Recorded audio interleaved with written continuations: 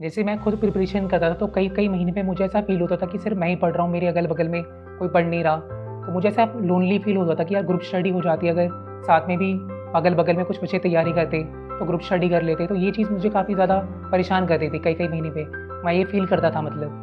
Okay Yes, फिर आप उसको ओवरकम कैसे करते थे? जैसे टीचर से हम लोग जैसे पढ़ते भी हैं क्लासेस के अंदर तो वो भी अच्छी अच्छी बातें भी बोलते हैं मोटिवेशनल चीज़ें। तो वहाँ से मोटिवेशन ही मिल जाता था। बाकी एग्ज़ाम क्लियर करना है तो फिर तो पढ़ना तो पड़ेगा ही।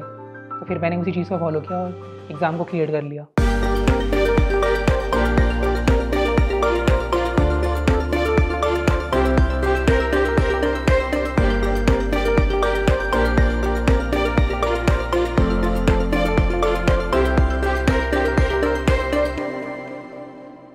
Everyone welcome to chamomile tea with toppers and initiative by an academy जैसे कि आप सभी को पता है कि हमारे बैंक एस्पिरेंट्स कई सालों तक बैंकिंग की प्रिपरेशन करते रहते हैं इधर two years three years four years और पता नहीं कितने साल।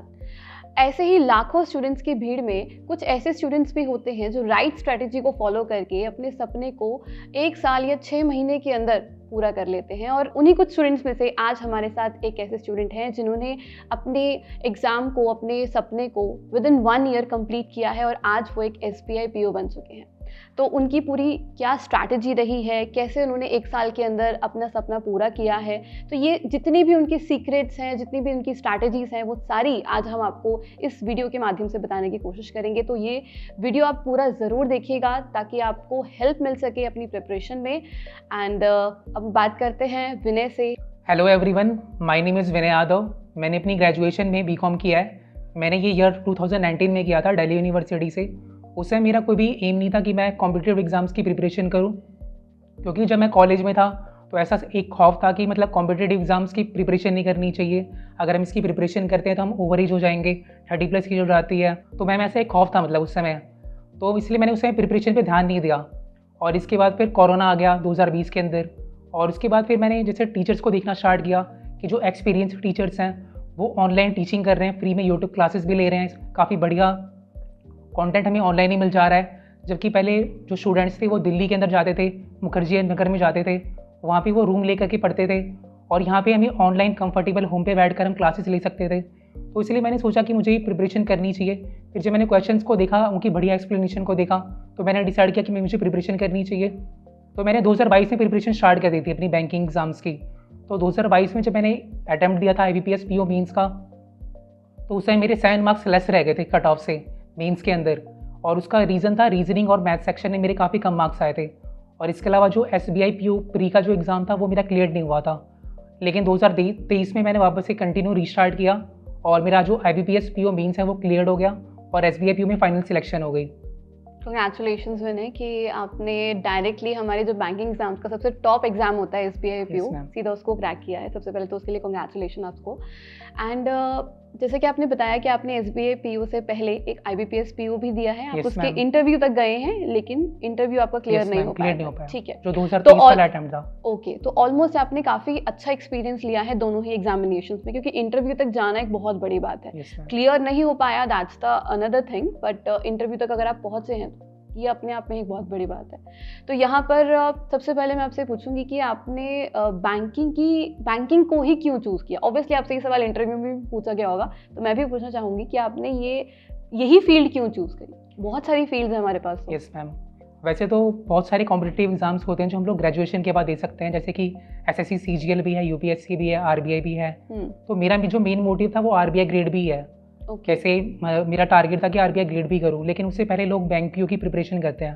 तो इसलिए पहले मैंने बैंक पी ओ को टारगेट किया और मेरा ये जो S B I P exam है वो तो क्लियर हो गया और अब मैं आर बी आई ग्रेड भी को टारगेट करूँगा।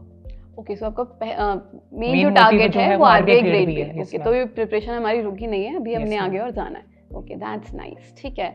तो यहाँ सर मैं आपकी कुछ स्ट्रैटेजीज को जानना चाहूँगी क्योंकि S B I P O एक बहुत बड़ा एग्जामिनेशन है और शायद बहुत सारे स्टूडेंट्स हैं जो बाकी सारे एग्जामिनेशन तो देना चाहते हैं R P I assistant R R B P O भी देते हैं आई बी पी एस तक भी जाते हैं एस बी आई क्लर्क भी देते हैं, लेकिन S B I P O को बहुत सारे बच्चे नेग्लेक्ट कर देते हैं। तो आपका एक्सपीरियंस कैसा रहा S B I P O के लिए? क्या बाकी एग्जामिनेशन से ज़्यादा बहुत ज़्यादा डिफ़िकल्ट है S B I P O क्या हमें उसे ऑप्ट नहीं करना चाहिए? या जितना ज़्यादा एक डर बना हुआ है S B I P O के लिए उतना नहीं है? नहीं अगर मैं ये कहूँगा कि S B I difficult exam नहीं है तो ये कम्प्लीटली रॉन्ग होगा। ओके और आपने देखा भी होगा कि जो कट ऑफ़ भी होती है एस बी की वो काफ़ी कम जाती है। हम्म। जो रीजनिंग मैथ्स और इंग्लिश का सेक्शन होता है वो काफ़ी ज़्यादा टफ आता है एस बी के अंदर। लेकिन अगर हमें बढ़िया जॉब अगर चाहिए तो फिर कंपटीशन तो हमें बीट करना ही पड़ेगा। हम्म, तो मैंने वही किया फिर कंपटीशन की पे मैंने ध्यान दिया फोकस किया और एग्ज़ाम को क्लियर कर लिया। ओके okay, विनय तो जब आपने अपनी बैंकिंग की तैयारी शुरू करी होगी तो जब आप Yes, आप कंप्लीटली एक बिगनर होंगे आपका कभी ऐसा कोई बैकग्राउंड तो रहा नहीं होगा। मैम तो आपको कैसे पता चला कि जब आप एक सपोज़ करिए आज आप एक बिगनर हैं तो आपने कैसे सोचा कि मैं कहाँ से तैयारी करूँ? कैसे स्टार्ट करूँ अपनी प्रिपरेशन को? जो बहुत सारे बिगिनर्स का एक डाउट रहता है कि हम कैसे स्टार्ट करें। हमें तो समझ ही नहीं आ रहा क्या सिलेबस है, कौन सा सब्जेक्ट पहले करना है, कौन सा टॉपिक पहले करना है। तो ये सब चीज़ें आपने कैसे सॉर्ट करी अपने लिए? सबसे पहले तो मैंने सिलेबस चेक किया कि इसमें सब्जेक्ट्स कौन कौन से आते हैं। ओके तो उससे मुझे पता चला कि क्वांट आता है रीजनिंग आता है इंग्लिश आती है जीके आती है। हम्म। तो जो मेरी इंग्लिश है वो काफ़ी बढ़िया है पहले से। ओके क्योंकि जैसे मैं जैसे मैंने मैंने C B S E school से मैं पास आउट हूँ। ओके और जैसे मुझे गेम्स खेलने का भी शौक है तो हम्म उसमें जो गेम्स के जो कैरेक्टर्स होते हैं वो इंग्लिश में ही बात करते हैं। ओके तो वहाँ से मेरी इंग्लिश काफ़ी बढ़िया हो गई। और ये रीज़न है कि मैंने इंग्लिश के लिए किसी को फॉलो भी नहीं किया था। किसी भी टीचर को फॉलो नहीं किया था मैंने।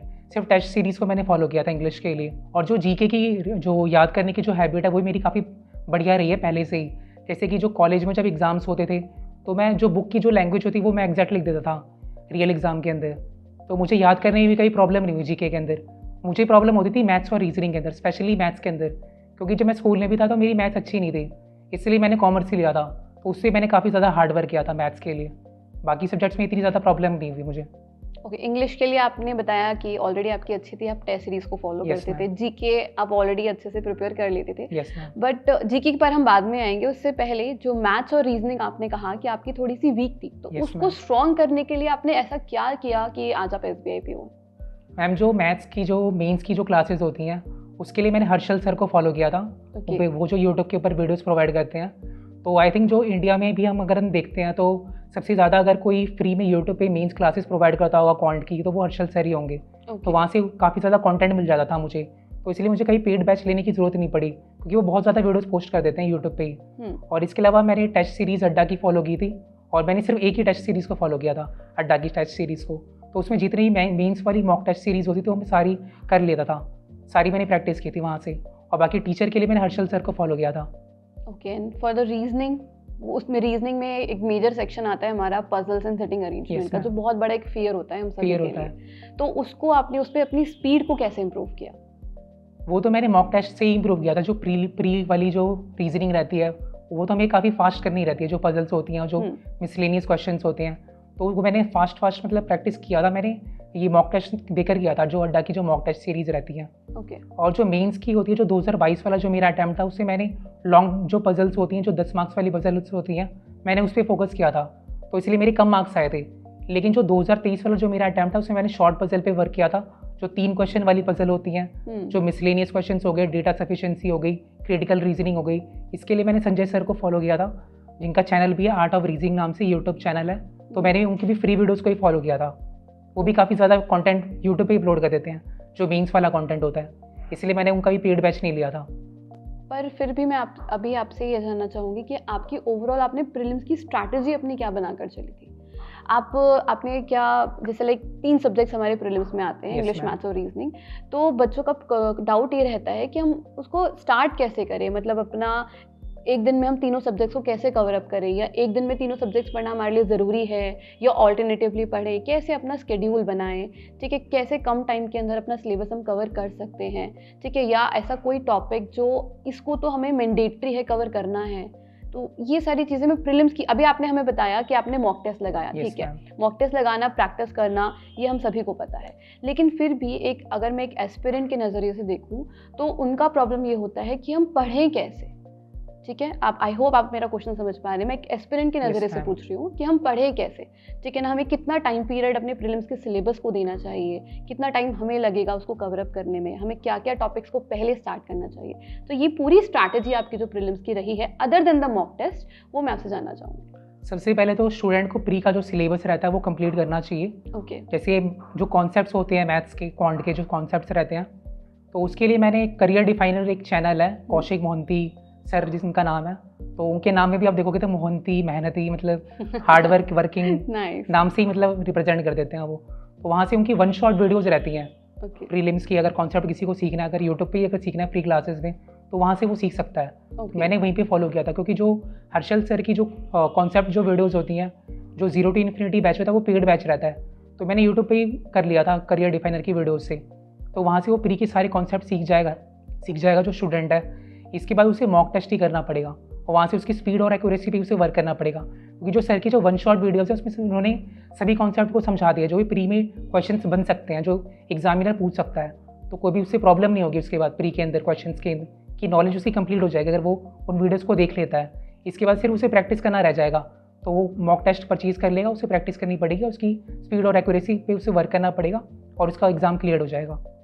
ठीक है विनय मैं यहाँ पर एक और चीज़ ऐड करना चाहूँगी। आपने आपने कहा कि हमें मॉक टेस्ट देना है। पहले कॉन्सेप्ट क्लियर करने हैं उसके Yes, बाद हमें मॉक टेस्ट देना है। ठीक है दैट्स फाइन लेकिन बहुत सारे स्टूडेंट्स का एक ये भी कंसर्न होता है कि हम मॉक टेस्ट रेगुलर दे रहे हैं पर फिर भी हमारी स्पीड इंक्रीज नहीं हो रही है Yes, इंप्रूव ma'am. ही नहीं हो रही है। तो क्या आपके साथ कभी ऐसा हुआ? Yes, अगर हुआ तो आपने उसको कैसे ओवरकम किया? पहले मुझे भी ऐसा लगता था कि ये जो प्रीलिम्स के अंदर स्पीड पता नहीं कितनी ज़्यादा चाहिए लोगों को। हाँ जी। बहुत ज़्यादा हाई जाती है कट ऑफ़ तो मुझे भी बहुत प्रॉब्लम होती थी स्टार्टिंग में कि कैसे कर लेते हैं लोग। तो बाद में लेकिन मैंने वही रेगुलर मॉक टेस्ट देते गया। मैं रिज़ल्ट के बारे में सोचता नहीं था बस मैं डेली प्रैक्टिस पे फोकस करता था। Daily practice yes ma'am this is a major thing in. Prelims examination concepts और उसके बाद practice is the whole thing ठीक है। अब प्रीलिम्स के बाद अगर हम मेंस पर आए तो मेंस में आते ही हमारे पास जीके एक ऐड सब्जेक्ट ऐड. हो जाता है आपका। तो अ, आपने मेंस की प्रिपरेशन कब स्टार्ट की थी? जब आपका प्रीलिम्स का रिज़ल्ट आ गया पेपर हो गया तब आपने मेंस की प्रिपरेशन स्टार्ट की जब मेरा सिलेबस कंप्लीट हो गया था। तभी मैंने स्टार्ट कर दी थी मेंस की प्रिपरेशन साथ ही साथ। Okay yes ma'am before the prelims examination yes ma'am ठीक है। एंड अब अपने आपने बोला कि आपकी जीके ऑलरेडी बहुत अच्छी है। ठीक Yes, है लेकिन फिर भी बैंकिंग की जीके पर जब आप आते होंगे तो उसको आप कैसे टाइम देते थे? कैसे उसको रीड करते थे? क्या आप उसके नोट्स भी बनाते थे? तो ये सारी चीज़ें भी प्लीज़ अभी जो एक्सपीरियंस है उनको बताएँ ताकि उनको हेल्प हो सके कि वो अपना करंट अफेयर्स स्ट्रॉन्ग कर सके। और क्या करंट अफेयर्स हमारे लिए इतना इंपॉर्टेंट सेक्शन है मेंस के लिए? यस मैम करंट अफेयर तो काफ़ी ज़्यादा इंपॉर्टेंट सेक्शन है मेंस के लिए अगर मैं बात करूँ तो।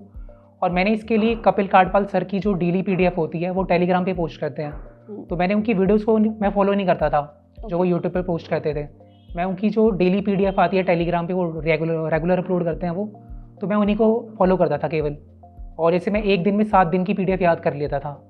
यस मैम जो डेली पीडीएफ होती है मैंने उसी को सिर्फ़ फॉलो किया सर की। एक दिन में आप? सात दिन की जो पीडीएफ होती है ना हाँ। जैसे डेली पीडीएफ है जैसे आज एक जनवरी है अगर तो उस दिन की पीडीएफ आ गई फिर दो जनवरी की आ गई। एक मतलब दिन सात में आप सेवन डेज़ का कंटेंट लर्न कर लेते सात दिन में कर लेता था मैं। एंड कितना टाइम आप लेते होंगे सेवन पीडीएफ को लर्न करने में? दो घंटे लगते थे मुझे। अगर हम मेंस में बच्चों का एक कंसर्न होता है कि सेक्शनल कट ऑफ़ हमारे पास मेंस में होती है राइट तो मेंस में बच्चों का कंसर्न ये होता है कि फॉर एग्जांपल रीजनिंग में हमें क्या सारे क्वेश्चंस अटेम्प्ट करके आने हैं? प्रीलिम्स में हमारा कंसर्न होता है कि हमें स्पीड पर Yes, वर्क करना है। मेंस पर हमें किस चीज़ में वर्क करना होता है? एंड क्या सारा अटेम्प्ट करके आना ज़रूरी होता है? या कौन से इंपॉर्टेंट टॉपिक्स होते हैं मैथ्स में इंग्लिश में रीजनिंग में कि अगर हम उन पर फोकस करेंगे तो वहाँ से हम अपनी सेक्शनल कट ऑफ़ तो एटलीस्ट क्लियर कर सकते हैं। यस मैम ऐसे टॉपिक्स होते हैं रीजनिंग के अंदर जिससे हम काफ़ी अच्छा स्कोर कर सकते हैं। जैसे मैंने खुद लॉन्ग पजल्स पे इस साल वर्क नहीं किया था, जो मेरा 2023 वाला अटैम्प्ट था इसलिए मैंने लॉन्ग पजल्स पे वर्क नहीं किया। मैंने शॉर्ट पजल्स पे वर्क किया जो तीन क्वेश्चन वाली पजल होती है। और वो किसी भी एस्पायरेंट को करने में कोई प्रॉब्लम भी नहीं होगी, वो टाइम कंज्यूमिंग भी ज़्यादा नहीं रहती हैं। इसके अलावा वो डेटा सफिशिएंसी पे वर्क कर सकता है क्रिटिकल रीजनिंग पे वर्क कर सकता है, और उसकी सेक्शनल कट ऑफ़ भी क्लियर हो जाएगी उसके मार्क्स भी काफ़ी बढ़िया आ जाएँगे, अगर वो इन सब चीज़ों को भी अगर वो फॉलो कर देता है। क्योंकि जो मेंस की जो कट ऑफ़ होती है वो काफ़ी कम जाती है। तो ये ज़रूरी नहीं है कि आप दस मार्क्स की पजल ही आपको करनी पड़ेगी अगर आपको हम्म। एग्ज़ाम क्लियर करना है। मैंने खुद उस चीज़ को फॉलो नहीं किया था इस साल और मेरा सिलेक्शन भी हो गया एस पी के अंदर। ओके तो जैसे आपने कहा कि रीजनिंग में शॉर्ट पजल और लॉन्ग पजल्स आते हैं तो Yes, स्टूडेंट्स को एक बार थोड़ा प्लीज़ आप बताइएगा क्योंकि वो बहुत कंसर्न रहते हैं कि मैम मेंस की पजल तो हमसे बनती ही नहीं है। Yes, तो कितनी पजल्स आपको मेंस में आपने आपके सामने आई थी और उसमें से आपने कितनी अटेम्प्ट करी होंगी? तो एक बार ये आप थोड़ा बच्चों को बताएँ प्लीज़ मैंने जो लॉन्ग जो पजल थी उस पर मैंने मैंने अटैम्प्ट नहीं किया था कितनी लॉन्ग पजल्स आई थी आपके एग्ज़ाम में? लॉन्ग पजल तो आती है मतलब दो तीन तो आई होंगी मुझे लगता है। And short puzzles short puzzle भी आ जाती है वो तीन आई होंगी मुझे मुझे लग रहा है। यस मैम तीन आई होंगी ओके ठीक है। उसके अलावा आपने मिसलीनियस टॉपिक को कवर yes, किया। ओके ये तो आपकी रीजनिंग की बात हो गई। अगर मैं अदर सब्जेक्ट्स की बात करूँ मैथ्स में क्या मैथ्स में भी ऐसा कोई टॉपिक होते हैं जिस पर हमें ज़्यादा से ज़्यादा फोकस करना चाहिए कि वहाँ से हम मैक्सिमम मार्क को ग्रैब कर सके? जो एलजेब्रा वाला जो सेक्शन होता है क्वाड्रेटिक इक्वेशन वाला उस पर स्टूडेंट्स को काफ़ी ज़्यादा वर्क करना चाहिए क्योंकि मेंस के अंदर वो काफ़ी अच्छा वेटेज कैरी करता है। इसके अलावा जो नंबर सीरीज़ हो गई और जो मिसलिनी जो एरिथमेटिक के जो वेरिएबल बेस्ड जो क्वेश्चंस होते हैं हम्म। उस पर ज़्यादा वर्क करना चाहिए। क्योंकि जो डी आई थी इस बार जो S B I P O में आई थी वो काफ़ी ज़्यादा टफ आ गई थी। ओके तो अगर जो वो करके गया था उसको काफ़ी ज़्यादा प्रॉब्लम हुई होगी। लेकिन जो एल्जेब्रा या नंबर सीरीज़ या जो मिसलिनियस जो टॉपिक्स होते हैं जो वेरिएबल बेस्ड क्वेश्चन हैं उस पर जो वर्क करके गया उसको ज़्यादा प्रॉब्लम नहीं हुई होगी। And what about English and current affairs English के अंदर तो मैंने बताया कि मैंने किसी टीचर को कभी फॉलो ही नहीं किया। मेरी इंग्लिश पहले से ही अच्छी थी। तो मैंने सिर्फ़ मॉक टेस्ट को ही फॉलो किया था जो अड्डा की जो टेस्ट सीरीज़ रहती है। एंड करंट अफेयर्स में क्या ऐसा करंट अफेयर्स में किस टाइप के क्वेश्चंस एग्जामिनर मेंस में आपसे पूछता है? मेंस में बैंकिंग रिलेटेड क्वेश्चन ज़्यादा रहते हैं क्योंकि Okay. बैंकिंग का हम लोग एग्ज़ाम दे रहे हैं तो बैंकिंग के क्वेश्चन ज़्यादा रहते हैं। और जो डेली पी पढ़ पढ़ के जाएगा उसको बेनिफिट भी ज़्यादा मिलेगा। जैसे कई टीचर्स भी हैं वो मंथली वीडियोज़ प्रोवाइड करते हैं मंथली कंपाइलेशन वीडियो प्रोवाइड करते हैं जीके का। लेकिन मैम उसमें सारे टॉपिक्स कवर नहीं हो पाते। उसमें वो टीचर्स केवल इंपॉर्टेंट चीज़ें ही पढ़ा पढ़ाते हैं वो जो वीडियोज़ होती हैं दो घंटे की या तीन घंटे की जो टीचर्स लेते हैं। उसमें सारे टॉपिक्स कवर नहीं हो पाते। ओके फिर जो स्टूडेंट्स होते हैं उनके कुछ मार्क्स से सिलेक्शन बाद में रह जाता है। तो अगर वो डेली पीडीएफ अगर वो पढ़ के जाएगा तो वो कुछ एक्स्ट्रा मार्क्स भी गेन कर लेगा तो उसे एक एज मिल जाएगा। बाकी स्टूडेंट्स के कंपैरिजन में और उसकी सिलेक्शन भी हो जाएगी easily okay Vinay so after mains जब आपका सिलेक्शन आया होगा उसके बाद आपका इंटरव्यू का कॉल लेटर आया होगा राइट तो इंटरव्यू का जब आपके पास कॉल लेटर आया तो आपने अपनी इंटरव्यू के लिए प्रिपरेशन कैसे स्टार्ट करी? क्या आपने माइंड में चीज़ें रखी कि हमें ये तैयारियाँ करनी है? ठीक है। आपने क्या क्या चीज़ें प्रिपेयर करी अपने इंटरव्यू के लिए? तो एक बार मैं वो जानना चाहूँ मैम, जब मैंने अपना रिज़ल्ट देखा था, एक पी आई थी रोल नंबर की तो मैंने उस पीडीएफ में अपना नाम देखा था कि मेरा नाम मतलब अरे सॉरी मैम, जब मेंस का जो रिज़ल्ट आया था, उसकी एक पी आई थी तो उसमें मेरा एक, मेरा रोल नंबर भी था। तो मैं काफ़ी खुश हो गया कि मेरा एग्ज़ाम क्लियर हो गया। फिर मैंने स्ट्रेटजी देखना स्टार्ट किया कि इंटरव्यू में आखिर जो इंटरव्यूअर है वो क्या क्या क्वेश्चन पूछता है कैंडिडेट से? तो उससे मैंने देखा कि वो ग्रेजुएशन सब्जेक्ट्स के बारे में पूछते हैं वो हॉबीज़ के बारे में पूछते हैं वो बैंकिंग अवेयरनेस के बारे में पूछते हैं। तो इसके लिए मैंने बैंकिंग अवेयरनेस का एक पेड कोर्स परचेज़ किया था कपिल काटपाल सर का। उनका फाइव हंड्रेड रुपीज़ का एक कोर्स आया था जब S B I P O का रिज़ल्ट आया था जब मेन्स का। तो उन्होंने S B I P O नाम से एक बैच रिलीज़ किया था इंटरव्यू का उसमें उनकी बैंकिंग अवेयरनेस की वीडियोज़ थी। तो उनकी थर्टी प्लस वीडियोज़ थी मैंने उन्हीं वीडियोज़ को फॉलो किया था बैंकिंग अवेयरनेस की वीडियोज़ को okay. और उन्हीं वीडियोज़ की बेसिस पे मैं इंटरव्यू में भी गया था प्रिपरेशन करके यस मैम ठीक है अ, ये तो आपका बैंकिंग अवेयरनेस का सेक्शन हो गया लेकिन अ, क्या आपने उससे पहले घर पे कुछ अपने लिए प्रिपेयर किया था कि मुझे ऐसे बोलना है ऐसे बात करनी है? कुछ सेल्फ जब आप हमें सबसे पहले हमें जाके सेल्फ इंट्रोडक्शन देना होता है तो क्या आपने खुद के लिए कुछ ऐसा प्रिपेयर किया था पहले इंटरव्यू से पहले? यस क्या-क्या मैम मैंने स्टार्टिंग का प्रिपरेशन किया था कि hello sir my name is Vinay Yadav और ये सब कि मैंने यहाँ से ग्रेजुएशन किया है। स्टार्टिंग की जो लाइन होती है वही याद करके गया था मैं। बाकी सब तो रैंडम ही था। तो क्या आपके लिए कोई लैंग्वेज बैरियर भी था वहाँ जाकर कि आपको सिर्फ़ इंग्लिश में कॉन्वर्सेशन करनी है इंग्लिश में इंटरव्यू देना है या आप किसी भी लैंग्वेज में वहाँ पर वहाँ पे जैसे हम लोग जाते हैं इंटरव्यू वाले दिन तो वहाँ पे एक फॉर्म होता है। वहाँ पे हम सिलेक्ट कर सकते हैं कि हमें हिंदी में बोलना है या इंग्लिश में बोलना है। ओके तो अगर कोई अगर इंग्लिश ऑप्ट करता है तो वो वहाँ पे एक स्टैंप लगा देते हैं। जो डॉक्यूमेंट्स हम कैरी करके जाते हैं वहाँ पे इंग्लिश लिख देते हैं वो लोग। स्टैंप पे यस मैम तो आपने जब आप जब इंटरव्यू पैनल में एंटर किए होंगे इंटरव्यू अपने उसमें हॉल में एंटर किए होंगे तो आपको वहाँ का एक्सपीरियंस क्या था? क्या आप उस टाइम वहाँ फील कर रहे थे? तो वो पूरा एक्सपीरियंस जो है ना वो आप इस- आपसे यहाँ जानना चाहती हूँ ताकि बाकी सारे स्टूडेंट्स को हेल्प मिल सके। क्योंकि सभी स्टूडेंट्स एक इंटरव्यू को लेकर बहुत फियर में रहते हैं कि कैसे होगा क्या क्या, क्या हमसे सवाल पूछे जाएँगे कहीं हमारा होगा या नहीं होगा सिलेक्शन तो वो अपना पूरा एक्सपीरियंस प्लीज़ हमारे साथ शेयर करिए। सबसे पहले तो मैम जब मैंने सेंटर में जब मैंने एंट्री की तो मैं काफ़ी नर्वस था उस समय। तो सबसे पहले तो वो लोग जीडी करवाते हैं इंटरव्यू से पहले। ओके यस मैम तो पहले जीडी हुआ था। तो उन्होंने टॉपिक दिया था फाइव डेज़ बैंकिंग के बारे में। तो ये काफ़ी यस मैम ईजी टॉपिक भी था क्योंकि उस समय काफ़ी ट्रेंडिंग भी चल रहा था इसके ऊपर कि फाइव डेज़ बैंकिंग होनी चाहिए। हम्म तो कुछ बच्चे इसके फेवर में बोल रहे थे कुछ अगेंस्ट में बोल रहे थे। बाद में जैसे बीस मिनट का उन्होंने टाइम दिया था। तो आखिरी में जो कंक्लूजन बना था वो सेम सेम बना था कि सब बच्चे एक ही चीज़ पे मतलब एग्री कर करनी चाहिए। जब बीस मिनट जब एंड हो रहे हैं हम्म। तो सबने एक ही टॉपिक पे मतलब एग्री कर गए थे कि Okay. यस होना चाहिए मतलब फाइव डेज़ बैंकिंग मैंने भी स्टार्टिंग में यही बोला था कि फाइव डेज़ बैंकिंग होना चाहिए। मैं भी इसके सहमति में ही बोल रहा था मतलब मैं। और जो आखिरी में जो ग्रुप कंक्लूजन बना था वो भी यही बना था कि यस फाइव डेज़ बैंकिंग होना चाहिए। ओके सो आपने सिर्फ़ मतलब येस और नो में ही आंसर किया था या आपने प्रॉपर वहाँ पे पार्टिसिपेट किया था पूरा प्रॉपर बोला था? किस तरह से आपने वहाँ पे उस मैंने पर मैंने वहाँ पे प्रॉपर बोला था बिल्कुल। और जैसे मैंने कई बार बोला था वहाँ पे ऐसा नहीं था कि मैं रुक रुक के बोल रहा था अटक अटक के। ओके यस मैम स्टार्टिंग में मेरे को दिक्कत हुई लेकिन वहाँ पे देखा कि सब बच्चे बोल रहे हैं कंफर्टेबली। कोई दिक्कत नहीं है। तो मैंने भी अच्छी तरीके से बोला था फिर। प्रॉपर आर्ग्यूमेंट्स वगैरह सब डिबेट्स वगैरह ओके ठीक है।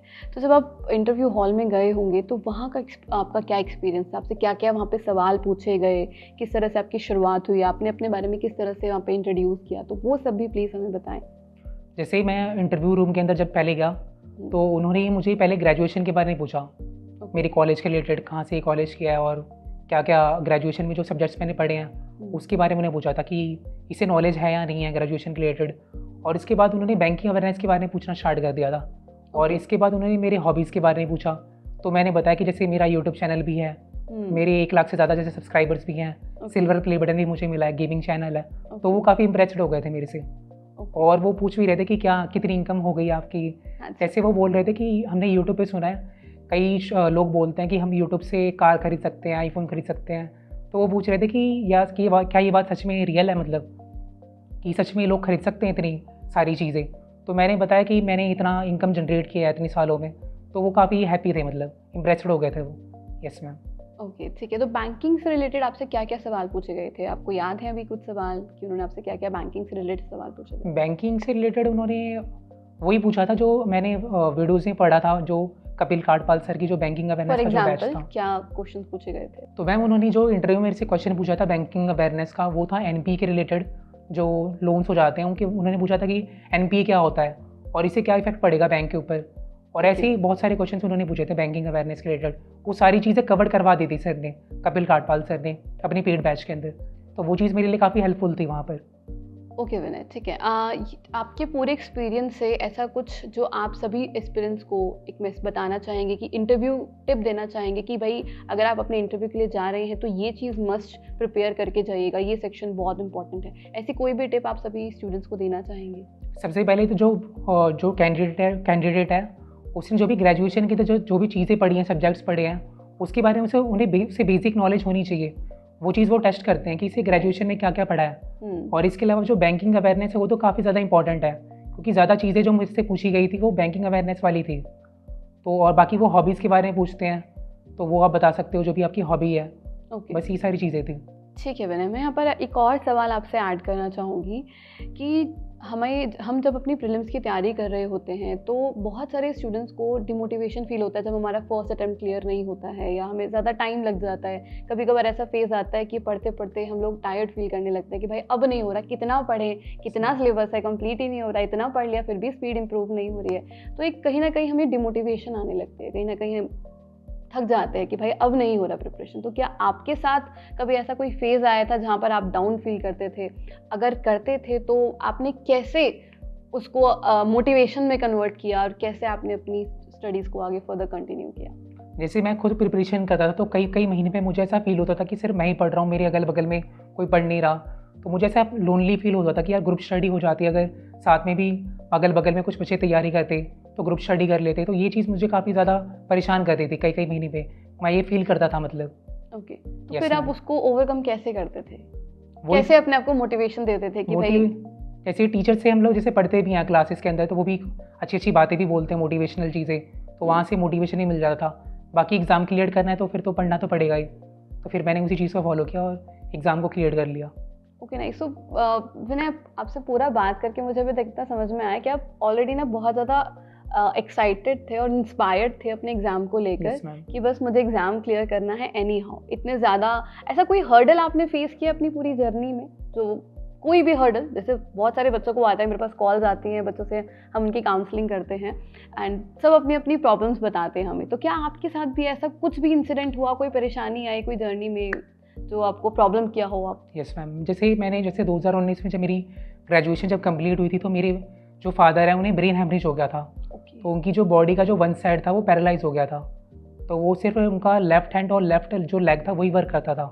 तो उनका मैंने टेक केयर किया। फिर 2020 में कोरोना आ गया। फिर उसके बाद जैसे मैंने देखा था कि कोरोना के बाद अच्छी अच्छी क्लासेस ऑनलाइन टीचर्स पढ़ा रहे हैं तो मैंने एक्सप्लेनेशन देखा। फिर 2022 से प्रिपरेशन स्टार्ट किया मैंने। फिर 2023 से मैंने एग्ज़ाम को क्लियर भी कर लिया। राइट यस मैम ओके विनस तो हम आपसे एक और चीज़ यहाँ पर जानना चाहेंगे कि बहुत सारे स्टूडेंट्स का एक प्रॉब्लम होता है कि हमें इंग्लिश भी पढ़ना है, हमें मैथ्स भी पढ़ना है रीजनिंग भी है उन सभी की क्लासेस भी हमें वॉच करनी है। उसके बाद टीचर्स कहते हैं कि सेल्फ प्रैक्टिस भी करो पी भी सॉल्व करो, फिर उसके बाद मॉक टेस्ट भी लगाने हैं। तो इतनी सारी चीज़ों को हम स्टूडेंट कैसे मैनेज कर सकता है? आपने कैसे मैनेज किया था इन सभी सारी चीज़ों को? क्या आपका टाइम मैनेजमेंट रहा था? प्लीज़ आपका स्केड्यूल क्या था वो हम जानना चाहते हैं। मैम जैसे मेरी जो प्री एग्ज़ाम जब से जब क्लियर होने स्टार्ट हो गए थे तो मैं प्री कंटेंट को पढ़ता नहीं था। ओके मैं सिर्फ़ मेंस कंटेंट को ही पढ़ता था। तो यूट्यूब पे जैसे क्लासेस होती थी मैं उसको देखता था सुबह सुबह। फिर दोपहर में रीजनिंग की को देख लिया फिर बाकी जीके को पढ़ लिया दोपहर शाम को। ओके बाद में मॉक टेस्ट से कर लेता था मैं। तो ये चीज़ मैं फॉलो करता था यस मैम प्री कॉन्टेंट पर मैं वर्क वर्क नहीं करता था। जैसे अगर प्री का एग्ज़ाम होने वाला है तो अगर एक हफ़्ते पहले मैंने स्टार्ट कर देता था मैं प्रिपरेशन प्री की जो मॉक टेस्ट सीरीज़ होती है उसको सॉल्व करता था। प्री का मैंने कंटेंट देखना बंद कर दिया था मतलब। ओके प्रीलिम्स का सिलेबस कवर करने के Yes, बाद आपने प्रीलिम्स का कंटेंट देखना बंद कर दिया था आप सिर्फ़ फिर मेंस मीन्स का देखता था यस मैम ठीक है लेकिन जब आप प्रीलिम्स की तैयारी कर रहे थे तो तब आपने कैसे मैनेज किया था? तब आप सारे सब्जेक्ट्स को एक साथ कैसे लेकर चलते थे? तब वही करता था मैं यूट्यूब पे पहले क्लासेस देख लेता था सारी चीज़ें समझ ली मैंने हम्म। फिर मॉक टेस्ट पे वर्क करने लग गया। ओके विनय सर जब आपका रिज़ल्ट आया होगा S P I P final result जब आया होगा तो उस टाइम आपकी क्या फीलिंग थी? आपकी फैमिली के क्या फीलिंग थी वो हम जानना चाहते हैं? क्या माहौल था आपके घर में उस टाइम पर मैम जब फाइनल रिज़ल्ट आया था तो सबसे पहले तो मैंने ऐसे घर पे बोल दिया कि मेरा एग्ज़ाम क्लियर नहीं हुआ। ओके यस मैम तो मैंने एक प्रैंक कर दिया मतलब घर पे। तो वो उदास हो गए कि ये क्या हो गया कि मतलब एग्ज़ाम तो क्लियर हो गया। ज़रूर इंटरव्यू में कुछ गड़बड़ कर दी होगी इन लोगों ने। हम्म, इसलिए सिलेक्शन नहीं हो पाई। तो फिर मैंने आधे घंटे बाद बताया था कि मेरा एग्ज़ाम क्लियर हो गया एक्चुअली में। तो जो मेरी मम्मी थी वो रोने लग गई थी उस समय। और मेरा भाई जो था वो भी काफ़ी खुश हो गया था उस समय। तो मतलब हैप्पीनेस थी मतलब घर में उस दिन काफ़ी ज़्यादा आपको कैसा उस टाइम फील हो रहा था कि final S B I clear हो गया? मतलब जैसे मैंने रिज़ल्ट जैसे देखा कि मेरा पीडीएफ में मेरा रोल नंबर था तो मुझे घुसबम फील हुए थे उस समय। काफ़ी ज़्यादा हैप्पी हो गया था मैं। ओके तो ये तो अभी हमारी सारी आपका पूरा स्ट्रैटेजी हो गया। हमने बहुत कुछ जाना आपसे। थैंक यू सो मच आपने इतना सब कुछ हमें बताया अपनी तैयारी के बारे में। ओके विनय सो हम आपके साथ अब एक छोटा सा रैपिड फायर सेक्शन करेंगे। तो क्या आप रेडी हैं उसके लिए? Okay so let's start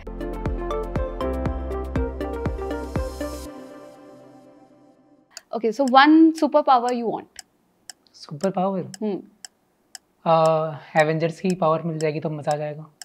Is your favourite colour favourite colour yellow. Why yellow मुझे अच्छा लगता है जैसे मैं टी शर्ट अगर पहनता हूँ येलो मुझे बढ़िया लगती है। Okay so the next is what do think the world needs the most today patience patience okay nice weirdest thing you searched on Google ऐसी तो कोई भी चीज़ नहीं है उसे मैं सर्च नहीं करता वियर्ड चीज़ है कुछ भी।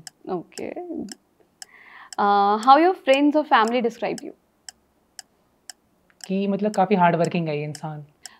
y- role model in your life? Akshay Kumar. Why? Ma'am जैसे जो अक्षय कुमार हैं उन्होंने काफ़ी ज़्यादा स्ट्रगल किया है। पहले ही वो एज अ वेटर भी काम कर चुके हैं और इस समय वो काफ़ी बड़े सुपरस्टार भी हैं। तो वैसे ही जो बैंकिंग एग्ज़ाम होते हैं उसमें कुछ स्टूडेंट्स कहते हैं कि हमें क्लर्क का एग्ज़ाम नहीं देना। क्लर्क की जॉब अच्छी नहीं रहती है बेकार काम है। और वो लोग पीओ एग्ज़ाम को ही समझते हैं कि पीओ की जॉब ही बढ़िया रहती है। Hmm. लेकिन हमें कोई भी काम को छोटा नहीं समझना चाहिए। हमें साथ ही साथ एज अ बैकअप के तौर पे क्लर्क का एग्ज़ाम भी देना चाहिए। जैसा कि अक्षय कुमार ने भी किया था, उन्होंने भी कभी किसी काम को छोटा नहीं समझा। उन्होंने एज अ वेटर भी काम किया, उन्हें गोल्ड ज्वेलरी भी बेची है उन्होंने अपनी लाइफ के अंदर। बाद में आज वो इतने बड़े एक्टर ही बने हैं तो कोई भी काम छोटा नहीं होता और हमें उस चीज़ से वर्क करना चाहिए yes ma'am nice very thoughtful बहुत अच्छे, बहुत अच्छा लगा आपकी ऐसी सोच सुनकर, ऐसी थिंकिंग आप रखते हैं बहुत अच्छी बात है। Thank you so much Vinay आपके आंसर्स हमें बहुत अच्छे लगे। थैंक यू सो मच आपकी पूरी जर्नी जानकर हमें बड़ा अच्छा लगा। तो यहाँ पर अ, हम आपके लिए एक छोटा सा चीज़ लेकर आए हैं अन अकेडमी की तरफ़ से एक छोटा सा गिफ्ट हैम्पर आपके लिए। सो so, यहाँ पर हमारी अकेडमी की एक छोटी सी प्रथा है हमारी सी की कि ऐसा कोई पर्सन है जिसको आप टैग करना चाहेंगे टैगर टॉपर जिन्होंने रिसेंटली अभी कोई एग्जामिनेशन क्रैक किया हो। यस मैम मेरा एक फ्रेंड है जिसका नाम शुमैल है। तो उसने अभी दो साल हो गए उसको वैसे तो लेकिन उसने आर बी ग्रेड भी एग्ज़ाम क्लियर किया था। तो कहीं ना कहीं मैं भी मोटिवेट उसके वजह से मुझे भी एक मोटिवेशन मिला कि मुझे भी आर ग्रेड भी एग्ज़ाम पे वर्क करना चाहिए। वो मेरा कॉलेज फ्रेंड था। तो कहीं ना कहीं उससे मुझे एक मोटिवेशन ही मिलता है कि मुझे फर्दर प्रिपरेशन को कंटिन्यू करना चाहिए और आरबीआई ग्रेड पे भी वर्क करना चाहिए।